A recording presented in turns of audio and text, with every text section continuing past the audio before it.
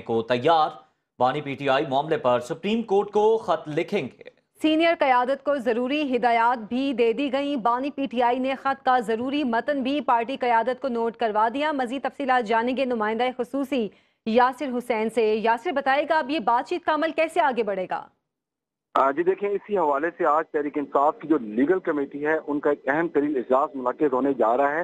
جو تحریک انصاف کے خط کے نکات کو آج ہی اس کو حتمی شکل دی جائے گی۔ کہا جاتا ہے کہ خط میں سیاسی و معاشی صورتحال اور ملک و درپیش چیلنجز کم کرنے کا باقاعدہ اس میں حوالہ دیا جائے گا۔ ساتھ ساتھ